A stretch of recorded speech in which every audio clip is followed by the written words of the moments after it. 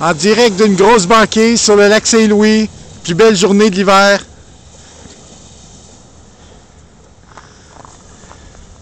Une plaque immense. Qui vient d'être cassée par le brise-glace.